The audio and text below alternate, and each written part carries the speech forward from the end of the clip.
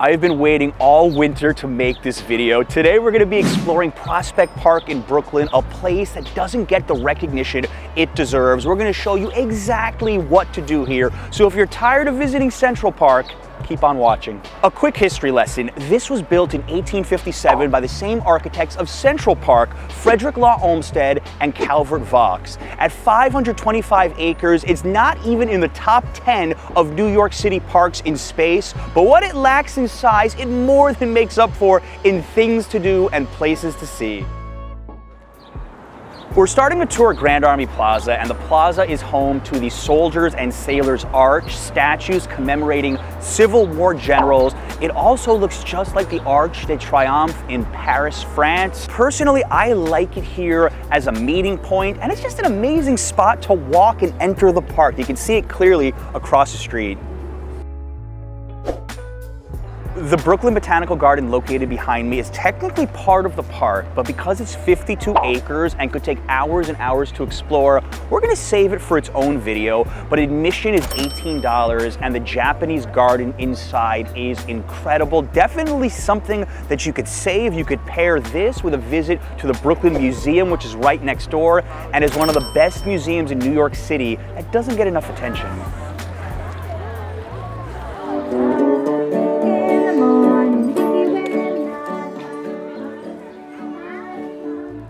This is Long Meadow, and this is actually the spot of the park that I come to the most, living just 15 minutes away in Park Slope. And not to be confused with Sheep's Meadow in Central Park, although sheep did graze here in the early 20th century. As you can see, just come out here with some friends, family, have a picnic, relax. At approximately one mile in length, this is one of the longest uninterrupted stretches of public park in all of the United States. Well, this is definitely the most crowded I've seen the park in a really long time, which is a positive sign for you know New York City reopening. This is actually the area where Adriana and I, well mostly Adriana, made snowmen this winter during a snowstorm. It was epic.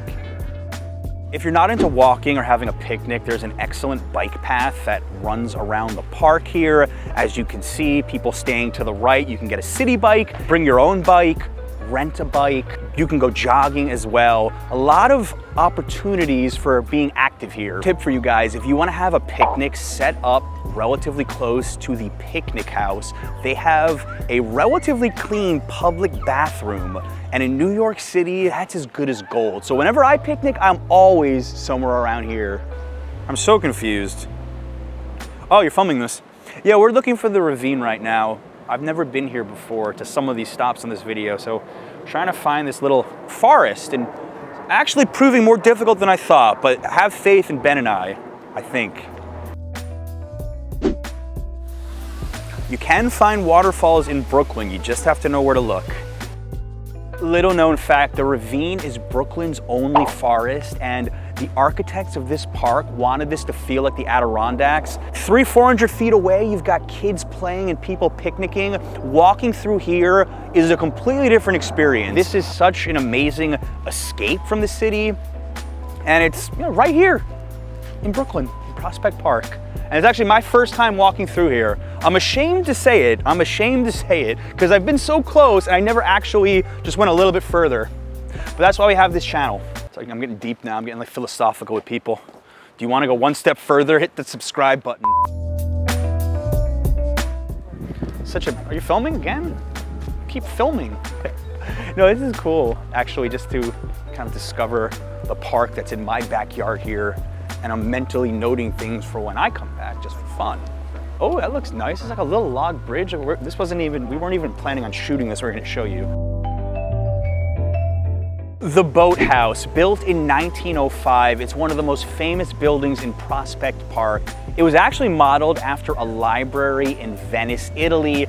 Inside they have an Audubon Center with some wildlife exhibits, but the best thing here is just to come and walk around to see this Lullwater here, take some nice photos, and you know, you're not gonna be fighting with tourists everywhere like in Central Park to get that right angle. There's so much space here. I just feel like this is one of the nicest stops in all of Prospect Park. The bridge here facing the boathouse is one of the best Instagram spots that so many people never even think about.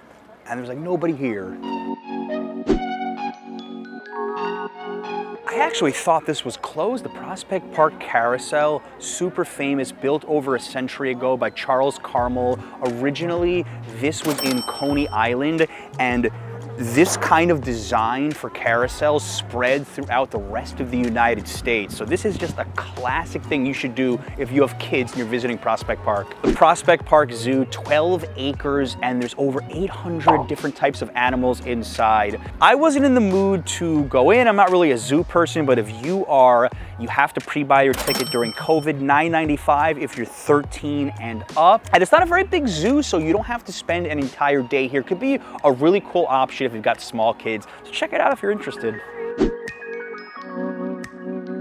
This may be one of the strangest trees in all of Brooklyn. It looks straight out of a fantasy novel. Camperdown elm, planted here in 1872. It's one of the few trees in the world that originated at the Earl of Camperdown's estate in Scotland and the branches grow horizontally instead of upwards. It's pretty unique and definitely worth stopping by to take a picture of.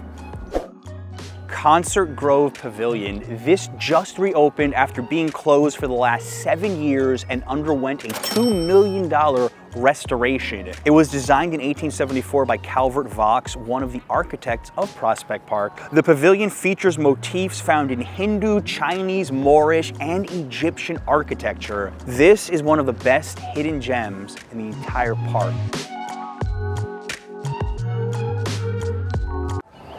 Prospect Park, home to more corgis and people. True story. This is Prospect Park Lake, 55 acres large and one of the best spots in New York City to go fishing. You can also head over to the LeFrak Center where you can rent kayaks, single paddle boats. This would be an incredible place to either picnic or you want to have a pretty creative first date, get out on the water. What are you waiting for?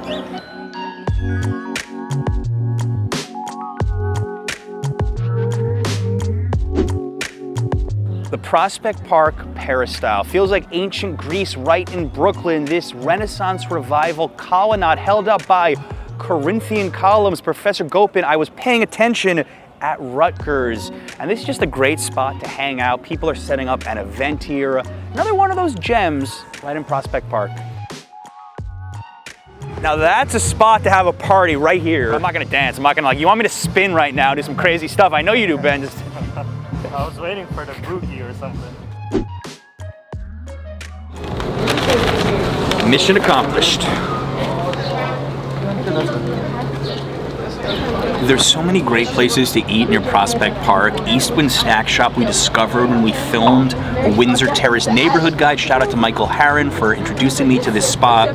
You know, these pork pan-fried dumplings are some of the best I've ever had in New York City. So completely worth a stop when you're at the bottom of Prospect Park. Mm. Better than a lot of places I've been to in Chinatown. All right, one bite, everybody knows the rules, right? Actually, I would. Asian dad style. Mm. Mm. There's really no other way to do it. just gotta put it all in. Just, just gotta put it all in. This is the Prospect Park Bandshell, and you can't tell by looking at it right now, but there's actually space for up to 6,000 seats here. And this is where you usually can come in the summer to catch live shows, performances, concerts. I don't know what the story is gonna be like this summer, but it's just a good place to know exists if you want some live music here in Prospect Park. Thank you. You're welcome. Still got it. Next thing you know, a dog would be drowning and you're like... Prospect Park Dog Beach. If you have a dog and you want it to swim, bring it here. If you don't have a dog and you just want to go to a spot that has a lot of dogs having fun, also a great option. Guys, tell us in the comments, Prospect Park or Central Park, which do you prefer? Check out our other New York City guides linked down below. Thank you so much for watching as always. Till next time.